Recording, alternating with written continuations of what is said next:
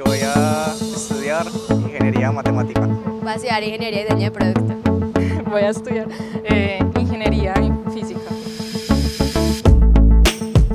Esta alianza que tenemos con la ANDI lleva más de 20 años, es una alianza que ha permitido que más de 180 estudiantes se gradúen eh, y pues que accedan a la universidad eh, y finalmente puedan graduarse de una institución como EAFIT gracias a este convenio que tenemos con ellos eh, donde tanto EAFIT como la ANDI ponen pues de su parte para poder traer estos estudiantes para esta cohorte son 10 estudiantes que serán beneficiados gracias a esta alianza. El proceso de evaluación es un proceso muy riguroso eh, la primera condición es que sean jóvenes de estratos 1, 2 y 3.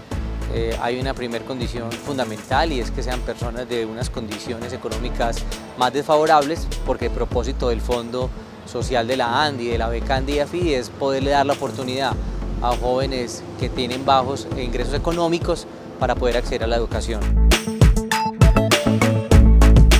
Con esta universidad me gustaría mucho tener una proyección internacional muy alta, también tener proyección social. Me encantaría graduarme pues, en estos cinco años. Con esta beca, no sé, ha sido un sueño hecho realidad y pues me encantaría poder aprovechar todas las oportunidades que la universidad me da porque sé que son muy amplias y que me van a servir mucho para mi vida eh, profesional. Segundo, pues que sean excelentes académicamente.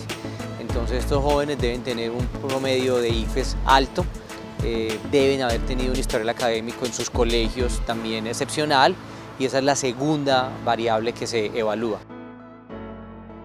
Me gustan mucho las, las ferias de emprendimiento que hacen, que es como un llamado a, un llamado a emprender, a motivarse, a ser su propio jefe y eso es algo muy bonito que puede dar una universidad para formar a un estudiante. Tercero, se evalúa su composición y su núcleo familiar, es decir, eh, qué otras fuentes de ingresos tienen, quién lo componen, si hay padres, si hay madre, quiénes más podrían eventualmente aportar a la educación superior de ese joven en el futuro. Y finalmente, pues también hay un cuarto elemento que revisamos y es eh, la composición de las disciplinas, las áreas del conocimiento donde ellos van a estudiar, eh, un poco pues que esas áreas del conocimiento sean diversas, que eh, involucren todas las áreas de la universidad.